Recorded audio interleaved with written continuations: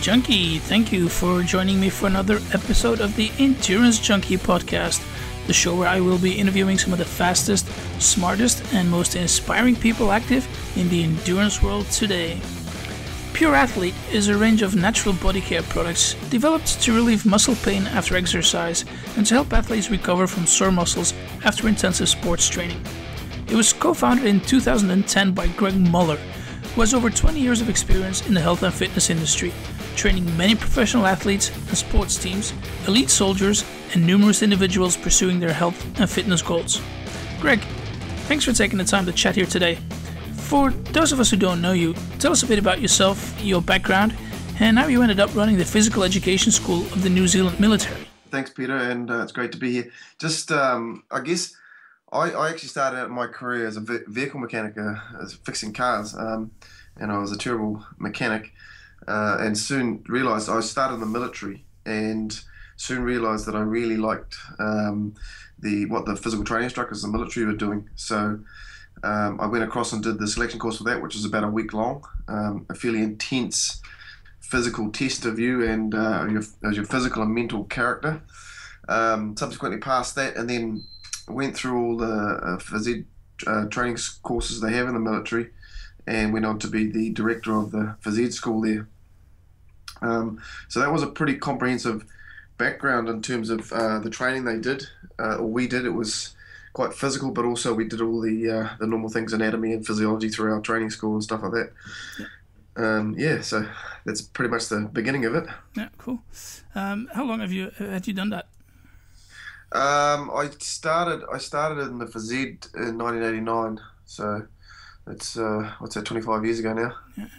Yeah. And then, uh, yeah, how long did you do it? Because you left the army and, and you started uh, becoming a physical education uh, uh, trainer in, in pro rugby, right? That's right. Yeah. So I did um, pretty much did my 20 years service in the army, uh, in the New Zealand Army. That's sort of the you sort of they look to aim to get you into the 20 year mark. Oh, um, okay and then uh, just before the 20 year mark came up, I was offered a job in pro rugby, and it was just too good opportunity to, to let go. Like I, I could have kept serving, uh, and I loved the job I did, but um, obviously, you know, my, my transition out of the army, I was looking to go to pro rugby anyway, and I got offered this job. Um, so I went into that just and used all my leave that I had accrued and things like that to to allow me to still get my 20 year mark, um, but still start working in, in professional rugby. Yeah. So, yeah. and that was in uh, still in New Zealand that you started uh, in, in, rugby. It was, yeah. I started. Uh, I worked for the Auckland, Auckland Rugby Union and the Blues. Um, we did that for about three and a half years, and then I went to Japan for two years. Uh, back to New Zealand for a couple of years, and then I got offered a contract up in Ireland. Um, so I did about ten years all up in professional rugby. Yeah. yeah. So and you're stuck. Uh, you're stuck in Ireland now. I wouldn't say? Stuck. It's a choice. it's a choice to be here. Um, yeah, no, I, I grew up. Uh, my neighbours were Irish growing up, so uh, I was fairly well. I was fairly well. I, I, knew the culture fairly well, and um, so when the opportunity came up, I thought, oh yeah, I'll come up to Ireland and have a look, and so it's like and and just love it here. It's just a really nice place to live, and uh, it's called the uh, Galway. Uh, funnily enough, I just found this out.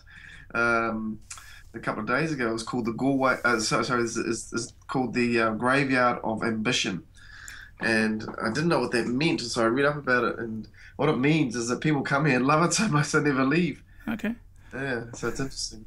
Yeah, good stuff. So now you're you're based there, and uh, you uh, you obviously started uh, Pure Athlete, which yeah. is uh, what we're gonna talk about mainly today. Um, so you still work there as as a performance coach, or is it just purely um, you working on the products? No, I do both, and uh, I just recently completed my master's degree in leadership, innovation, and change, and I did that because what I found leaving the military was um, uh, there was a lot of uh, uncertainty, I guess, or um, unknowns in terms of what it is to get high performance, and you know my exposure to that in the military with at a very young age working with elite forces. Uh, I was there for Z instructor to the New Zealand Special Air Service at the age of 22. Uh, and then going through my military career, you know, we had certain things in place which just weren't being used or no one knew about in professional sport. Um, but even that, there was still holes in what we were doing. So I did my master's degree, really to look at um, how, how we can look about getting high performance out of athletes. Um, so they looked at a lot of different things. And so I still, yes, I still work a lot with athletes. Um, I do a lot of athletes. I do it through different means. Um, either I see them physically or I might Skype them and just talk to them about what they're doing and things like that. Um, but also run my company, Pure Athlete, yeah. Then what kind of athletes do you coach then? Uh, you got triathletes on there or just... Uh... Uh, just trying to think of it. I don't... I, I, I've, I've consulted with triathletes. I don't have any currently. Um, but we have a local club here, which I've spoken to them um, a few times, and I've got a few of those athletes who I know quite well, so I'd speak to them regularly, um, the gym or whatever. Uh, um, but I, I would have a vast range of athletes, um, you know, from racket sports right through to rugby, uh, the Gaelic football, Gaelic Gaelic games, which is hurling, and um, Gaelic football. Yeah, there's a very very fast and excellent games in terms of skill level and stuff like that. Yeah. I've noticed on, on your website that you've sort of created a, a bit of a framework that, that you call the Pure Athlete Totem Pole uh, you know, detailing some some essential elements uh, that are necessary for peak performance. Can you talk a bit about that and, and how you created this? Sure. Um, I guess my training, a lot of uh, not not all my training, but I've done a lot of training through different systems and different places around the world because I was, I, guess, what I was looking for, I was looking for answers to those questions about success, winning, performance, and those types of things. Uh, because every athlete or every sports team I've worked with, you know, at the end of the day, they want to be successful, you know. So, but everyone's got this different formula or the different ideas about how you do that. So I wanted to get um, some something that would give me a framework to that. And I was fully trained as a phys ed instructor, working at our phys ed school in the New Zealand military uh, back in, in the 90s. And I got a call from a friend of mine who said, you've got to go see this guy talk. He's like really good. Like, and you know, you get you get that from a, a number of people who will say, go go see this person. And and interesting enough, I'd just been the weekend before, a couple of weeks before that, I'd been on eight flights to fly to three locations in 24 hours in New Zealand, so could go and learn off people. Uh, and you go on these things and you learn a little bit, but you don't learn a lot. So anyway, I went to this see this guy. His name was Paul Chek. You may may not have heard of him. He's based down in San Diego. Um, and in two hours, he completely blew me away. I was like, holy heck, I don't know anything compared to what this guy, you know. And here's me fully trained and, you know, qualified as, as far as the military concerned. And I thought I knew quite a bit, but he just put me in a different level. So I, I thought, I if I really want to be as good as I, I say I want to be, I need to go and learn and I need to go and train under this guy. So I committed to learning under him, and it took me 10 years to get fully trained under him.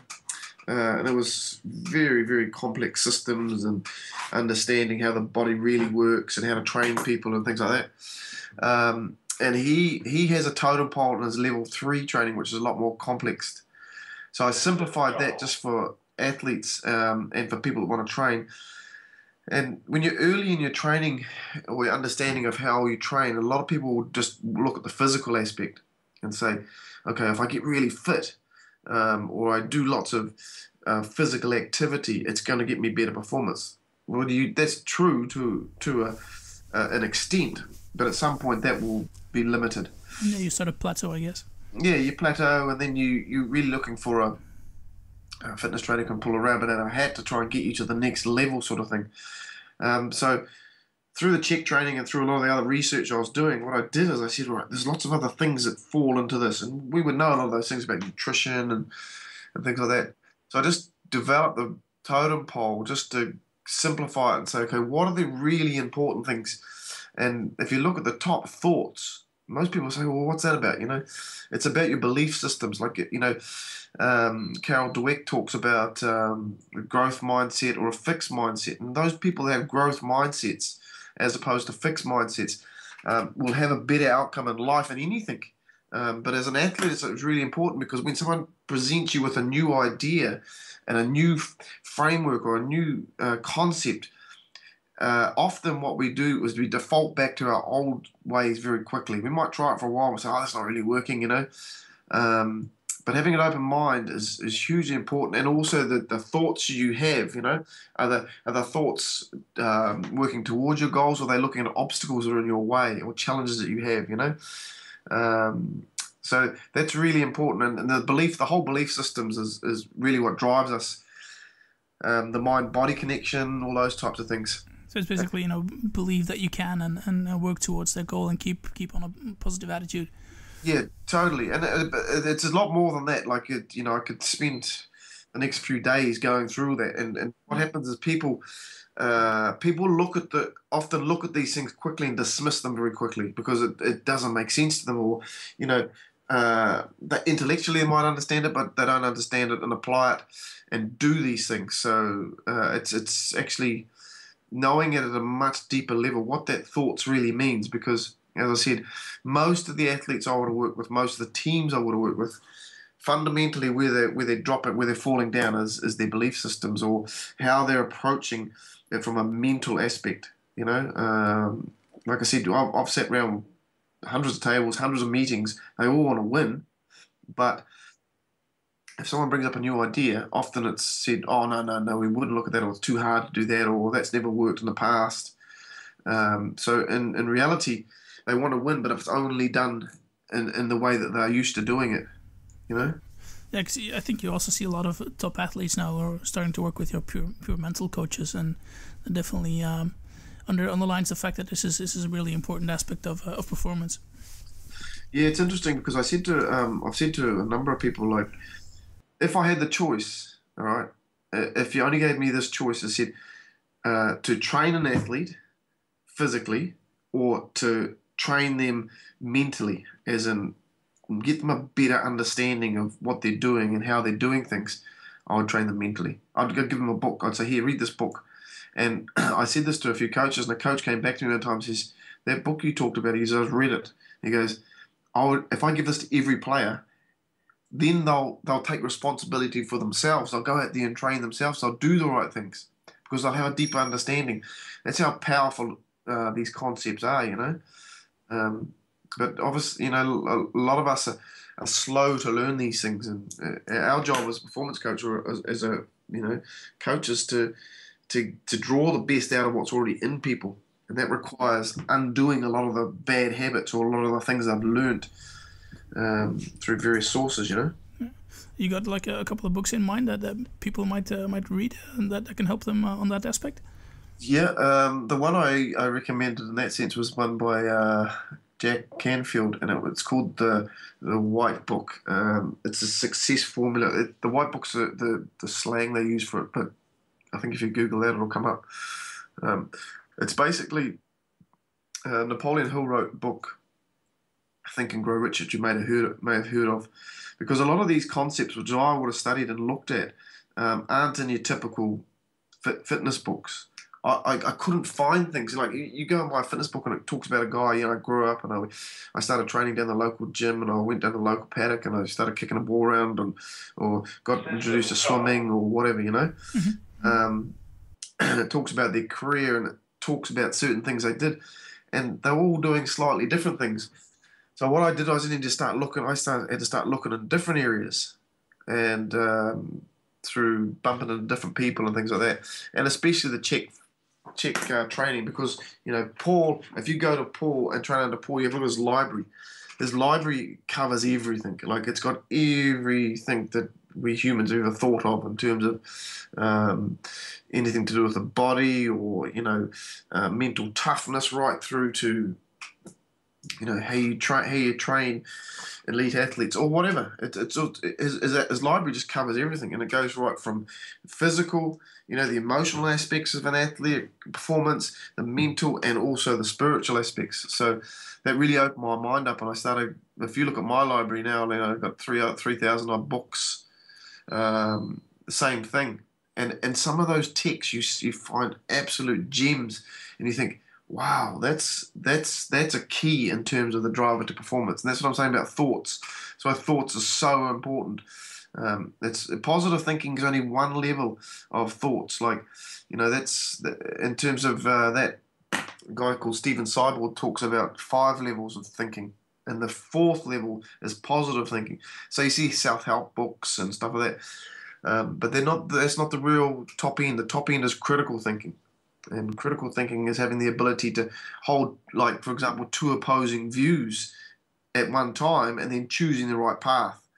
Uh, and it can only do that through great creating a greater understanding or greater knowledge of yourself um, and what what your parameters are that you're working on and how you're going to move forward with things because most people don't shift that much you know mm-hmm. um, so so that's so that book that Jack Canfield book was is a very good book good starting point you know, easy to read easy concepts but it's taken from Napoleon Hill's Think and Grow Rich which was written back I think in the 1930s uh, he did 20 odd years study of successful people.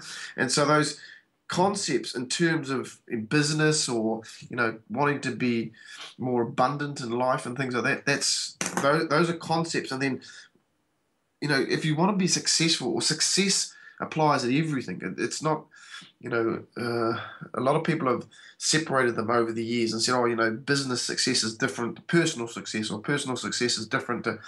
All the principles are exactly the same. You apply the same principles. Um, so when you when you start doing those, your whole life starts to change. But it, it, it starts at thoughts. Yeah, good stuff. Well, I'll, I'll, definitely make sure to put all the necessary links in, in the show notes, uh, so people can uh, can pick up those books. Uh, next stuff you have on the on the totem is uh, breathing. Yeah, yeah, yeah. Well, you know, again, you know, everything starts and finishes with breath. Um, breath is life force. So chi or prana are the two words used in Eastern uh, terminology, um, which which in, in uh, when we define that that means life force. So the ability, like if you think of the body like a simple pump, and if you take a breath in like a lot of people have learned, even athletes, a lot of athletes I've worked with have reverse breathing patterns. So they're breathing um, using their upper respiratory muscles, so, you know, the scalenus, the sternocleidomastoid, um, and their, their shoulders are rising when they're breathing just standing still. So that would be a reverse breathing pattern. So they're not using abdominal breath. So in that sense, if you think of it like that, what you're doing, if it's a pump, you're only using the top half of the pump. And so the ability to get oxygen down into the deep parts of the um, pelvic basin or into the, the lower part of the diaphragm when the diaphragm goes down, and then get that that that um, oxygen oxygen out into the working muscles and things like that. That makes a big difference uh, in terms of performance. Um, and so you know we also have like uh, sympathetic and parasympathetic, and if if you're stressed too much uh, you'll be very sympathetic. So you'll notice a sympathetic breather, they'll be breathing quite fast, or they'll be mouth breathers predominantly. Um, and so if you can get them back to parasympathetic, what it does is it it um, it, it basically um, balances the body or gets the body back in harmony. So we have biological oscillators which oscillate in our body, and when those go out, you know the body's under stress again. So um, breathing is a really really important aspect to um, your performance and just general health, you know. Yeah, cool. And you maybe have some good breathing exercises that uh, athletes can do. A simple one is uh, really simple one is the first thing I'd say on that is, is is is taking time. You know, if you did meditation or meditation type exercise, then it will uh, improve your breathing because you can just focus on your breathing then. You know, and a lot of people are so busy in the day or so busy in their mind you know, they think they haven't got time to do these types of things. But the more I've studied, the more I've learned, these are the things that really matter. So, for example, um, you know, there's an old Zen saying which says, if you haven't got time to meditate for 20, 20 minutes a day, then do it for an hour. you know? Um, so a simple thing is just a breathing squat. It's a parasympathetic. So this, this is life force or chi building uh, exercise. So all you do is take a deep breath in deep abdominal breath. So the belly button goes out for the first two thirds, and then you, the rib cage will raise for the last third. And as you squat down, you breathe out through pursed lips slowly until you get to the right at the bottom end of the squat, and you keep exhaling until you've got all the oxygen out.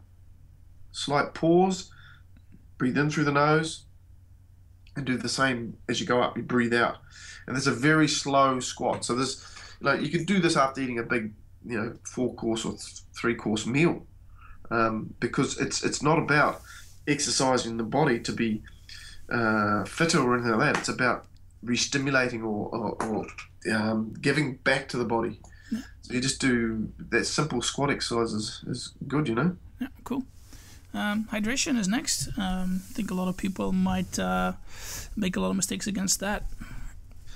Yeah, well, um, I mean, interesting enough, probably in the last 15 years, we would have seen a lot of changes in that. Like, you know, like athletes are walking around in teams that I've worked, worked with now for a long time uh, with water bottles, you know, and and it's good because we become we become more aware of it. Like when I started the military, we would go on pack pack marches for 20 pack marches for 20 k's and we weren't allowed to touch our water until we got there, you know. Mm-hmm. Um, that was the mindset. It was like save your water, save your water, because when you really need it, well, some of us needed it. We needed it sometimes when we were working out because we were sweating so much.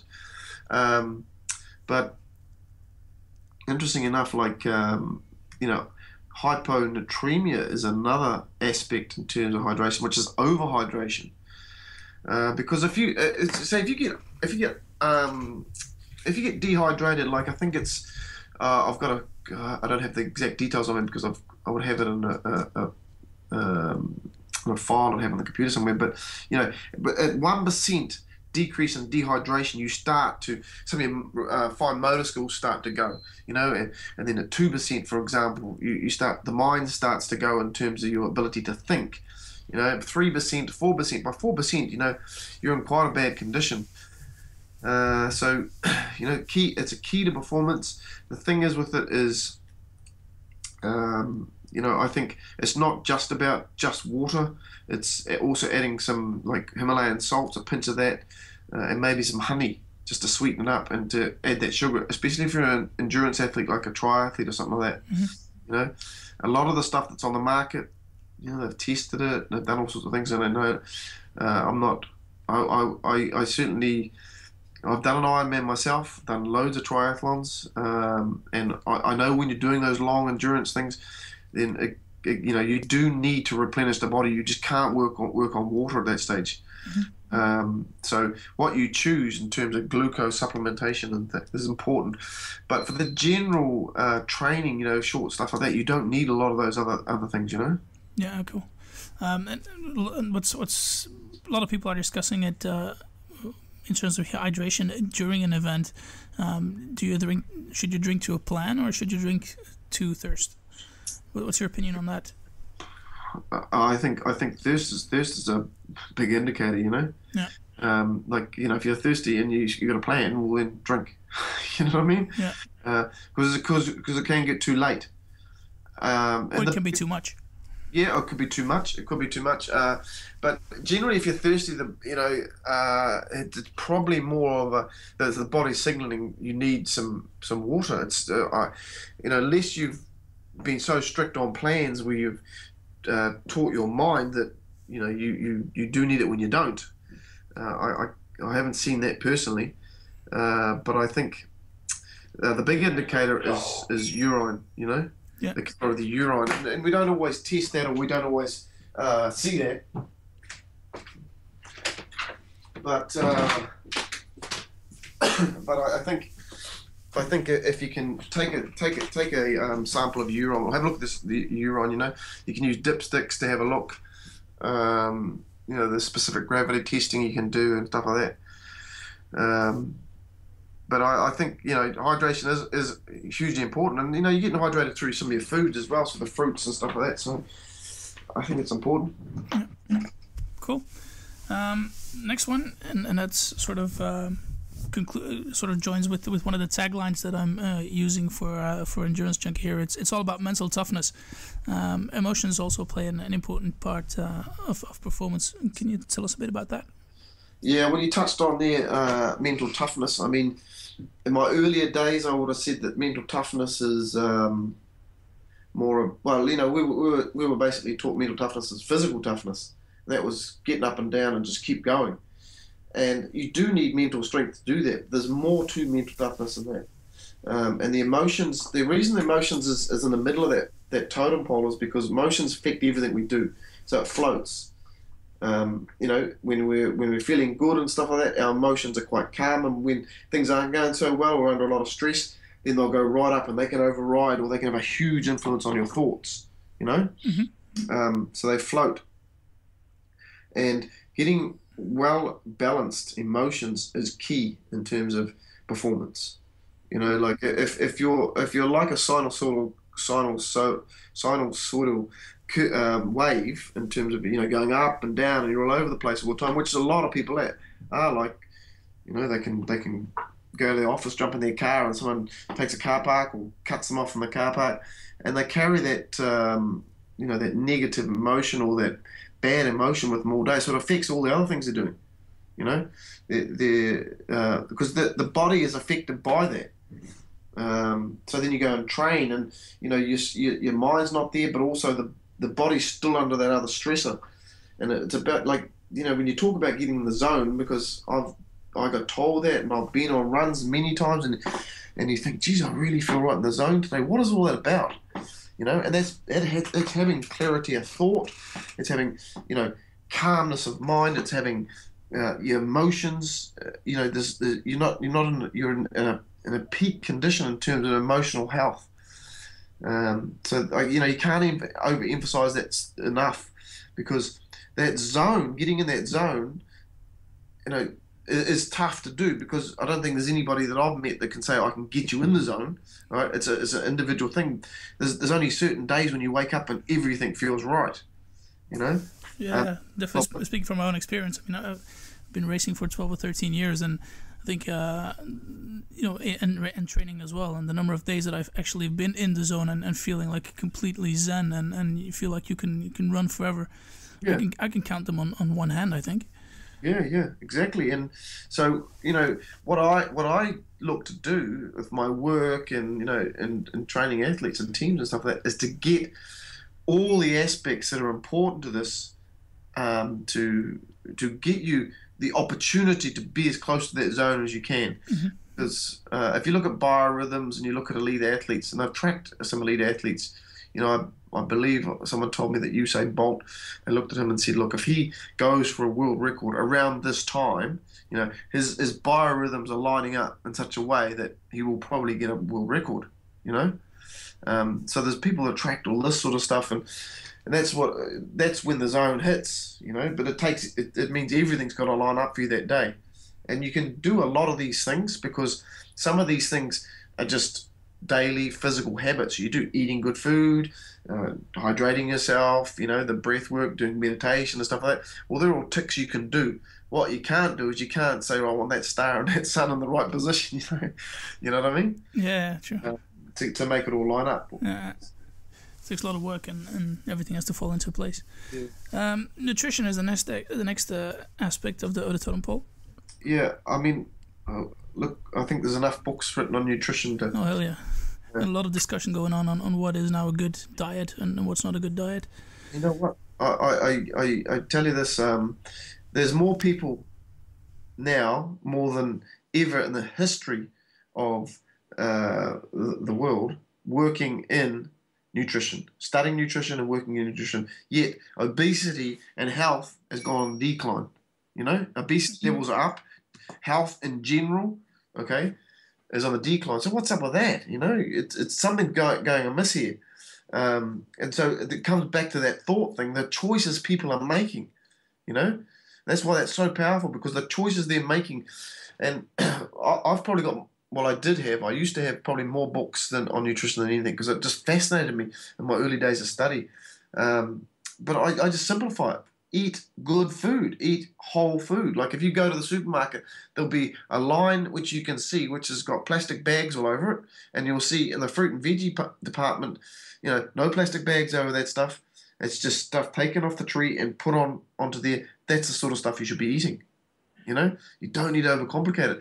You only need to overcomplicate it, and, and the only time I've overcomplicated it with clients or people is when they've got serious or uh, serious illnesses or they've got serious uh, lack in performance, and you track it back and say, you know, this guy's he's got a gluten intolerance, you've got a lactose intolerance, or something like that. So then you need to do more testing, and you can send them to a functional diagnostic nutritionist or something like that, and they'll do all the testing. Um, But in general, most people just need to clean up their diet. Just get a nice, healthy diet. And look, you don't have to be religious about these things. Uh, and I say this uh, sort of with a caveat. Yes, you do have to be religious in sense, you know, for at least 80 to 90% of the time you, you dedicate yourself to eating well, and then you can have the odd, you know, nice bit of food and stuff like that. Because if you stick too rigidly to something, what happens is most people will fall off the bandwagon. However, if they stick to 80, 90% of the time well for something, they'll realize, geez, I feel so much better. I'm not going to eat that crap anyway. Yeah. You know? Yeah, true. And, and I'm actually on a bit of a diet myself because, uh, well, since I started the brand, I haven't had much chance to uh, to do much exercise. And uh, but unfortunately, I kept eating like I was exercising, so the, pounds came on pretty quickly. Um, but now for about a couple of weeks now, I've been just uh, staying away from all the you know the, the crap and the sugar and uh, and the sodas and stuff, and uh, just eating nice healthy foods and and vegetables and fruit and just drinking water and you know, kilos were flying off and uh, definitely um, definitely very important. Yeah well it's it's about caring for yourself. Like it's, it's at the end of the day you know like um, like I said the, the physical aspect that's what's at the bottom okay? Because most people go out there and train themselves and think that's the job done right? Like it, it's not. You, you know it's all about looking after yourself and making wise or healthy decisions. The reason that most people exercise and most people okay is stay healthy yet then they go and eat crap afterwards or go and drink you know yeah, uh, thinking it's oh, it's not too bad. I just exercised. Yeah, yeah, yeah, yeah. But uh, you know, I mean, you eat you eat about on average. You know, the least you probably most people would eat would be three times up to about nine times a day. You exercise most people, or most people that are exercising is probably once. Elite athletes may be doing it three, three times, maybe four times a day. Mm-hmm. Um, so, what's having the most influence on your health? What's having the most influence on your performance? It's what you put in your mouth. You know, um, that's why it's higher up the the the, the pole.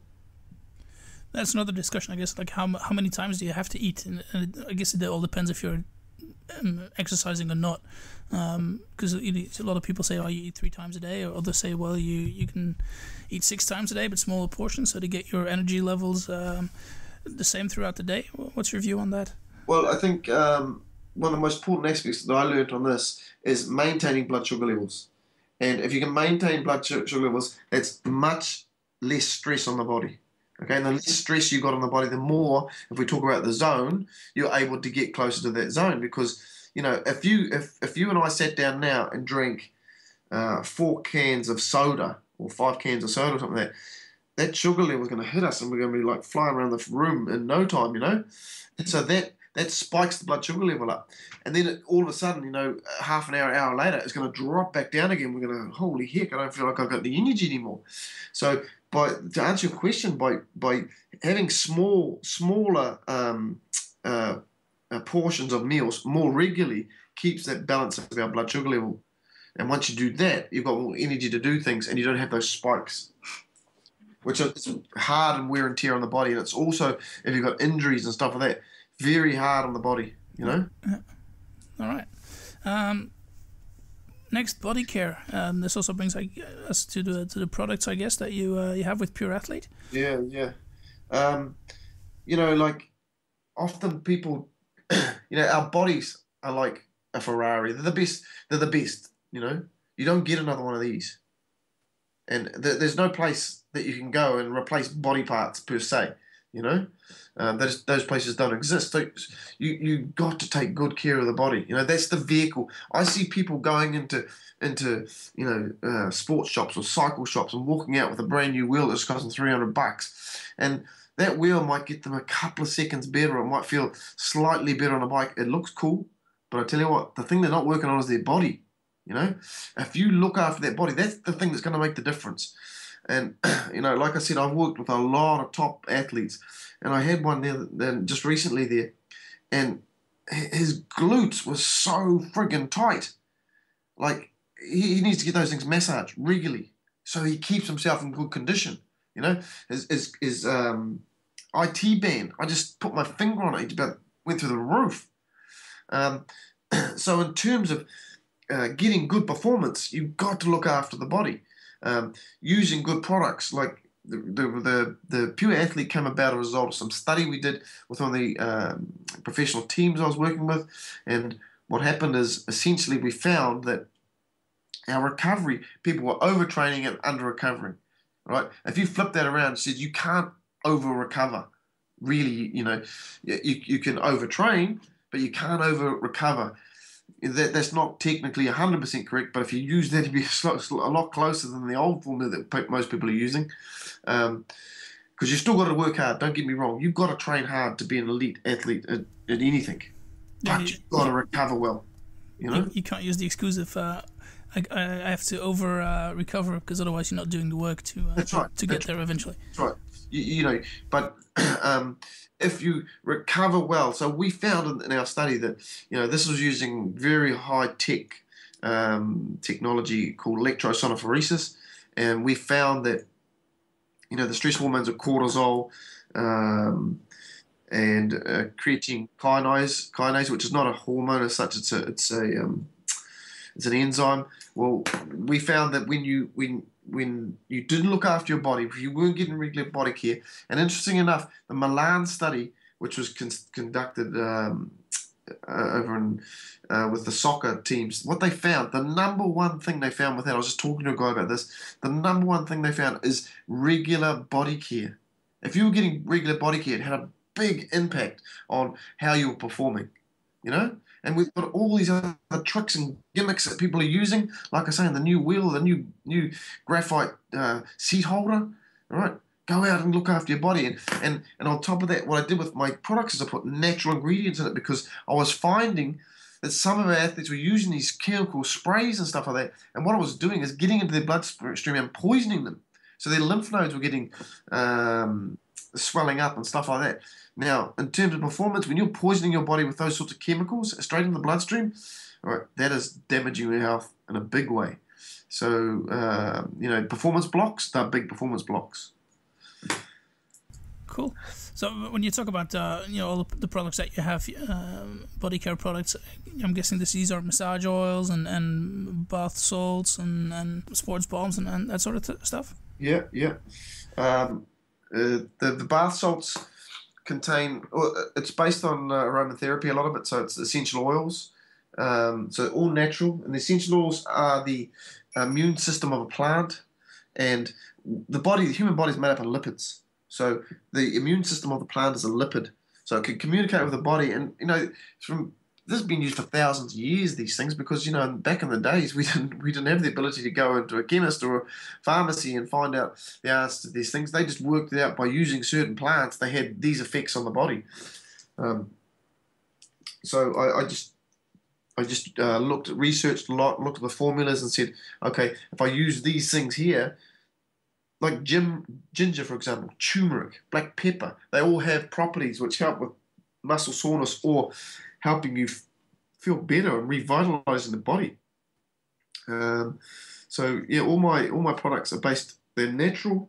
they're based on taking care of the body, looking after the body. You know, because that's got to be high on the, the agenda of any athlete, or not only the athlete, but anybody that you know, any human being. You've got to look after your body. Just you, you know, you you can't keep kicking your Ferrari every day you go past it and expecting it to perform well. You know, over a period of time, that thing will look like a clapped out piece of junk sitting the front of your house. And a lot of bodies that you look out out, out, out at in, in, in society are like that. And I tell you another thing, and I was talking to an athlete yesterday, a top athlete, he was saying to me, he goes, You know, that person there looks pretty fit, but it's amazing how broken down they are. And that's because we're, we're fixated on uh, the visual aspect or the aesthetics of something you know. And uh, that to the untrained eye, everyone go, oh, that person got six pack, but underneath it, what's going on? You know, they've got pelvises out of alignment, they've got back problems, their necks out of alignment, you know, because they've been training incorrectly, doing too many crunches or you know simple things like that.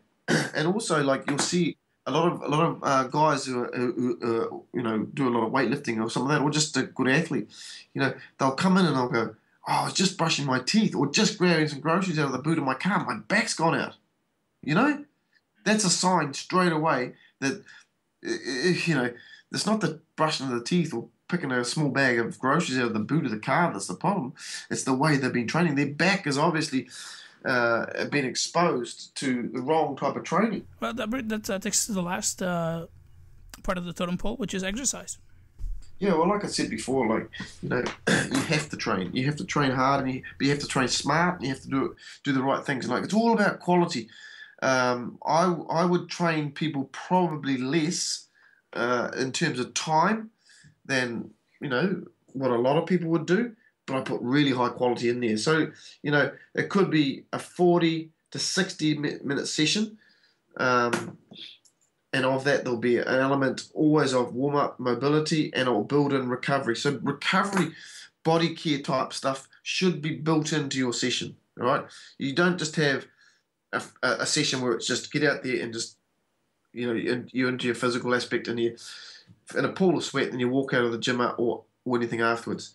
Obviously, for an endurance athlete or something like that, you know there's longer periods. You know you could be out cycling for four to six hours, or you could be out running for two to three hours, or whatever.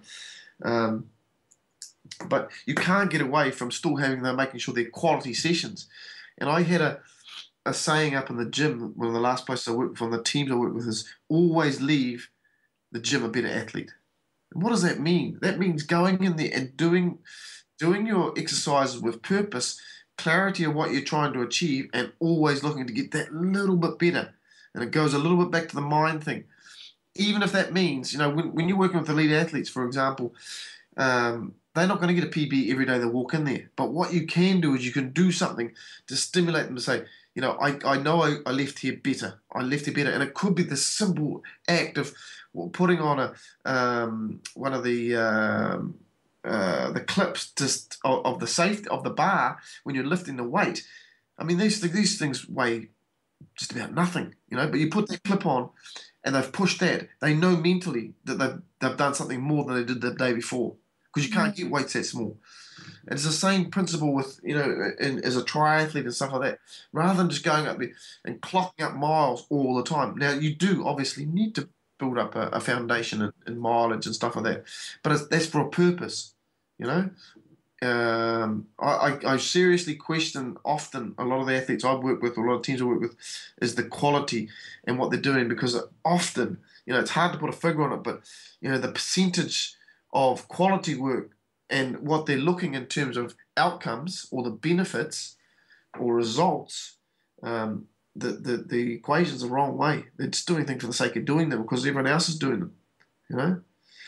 And another thing I'll tell you just very quickly is what people do if they don't understand. Now, I've been in this industry 25 years and I'm still learning so much. You know, there's so much I don't know. but what often happens is people watch someone and say, they're doing this, and they start to copy it.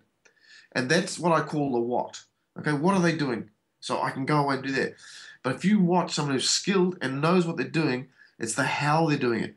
So you can get a, a young fitness coach or something like that who looks like they're doing the same as the person who's been doing it for 20 plus years, but the, the, the person who's doing it 20 plus years is doing it for a specific reason. They know what the outcome or what they're looking for from it you know. Whereas the young person will be bouncing all over the place, and then after a couple of weeks, oh, that doesn't really work. So they'll go look for the next guru who's going to teach them something else, you know. And athletes fall prey to that, like a weak mind. It goes back to that thoughts. A weak mind will fall prey to these things all the time. They'll look on the internet and go, "Oh, there's this new supplement out, or something like that, or there's new this out." You know, if you apply the principles of the totem pole, right, and look after your body that way, you'd be a far better athlete than uh, than someone who's, who's playing dodgems with things and you know ordering the next thing off the internet because it's going to save their soul or save, save them doing the hard work. You know, you can't do it. Yeah, I guess one of the worst things that you can do is you know uh, if compare yourself to, to one of the pro athletes and, and, and take their training principles and, and, and do what they do and, and apply it in your life because it, it's totally different. It is totally different, um, but the foundations of anything come back to the the very simple things you know, and I've worked with some top pro athletes who have not got good foundations in place.